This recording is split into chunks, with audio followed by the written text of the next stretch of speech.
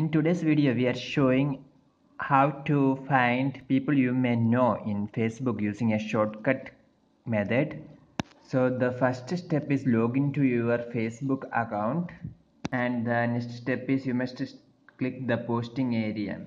Okay, we all know that uh, this is the posting area in uh, Facebook where we must write something. Okay, you must click here first. You must move your mouse and you must click here like this so you must click this area using your mouse.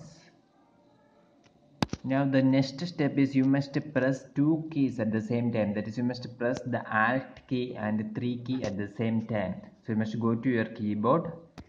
And in this keyboard you must key, uh, see this is the alt key and uh, this is the 3 key. And you must press the alt key like this. And at the same time you must press the 3 key also you must press both alt key and 3 key at the same time. You must press like this both keys together. So now you can see that the window people you may know are arrived here. So the like the way you can take the people you may know. So remember first log into your facebook account and the next step is you must click the posting area. That is you must click this area first.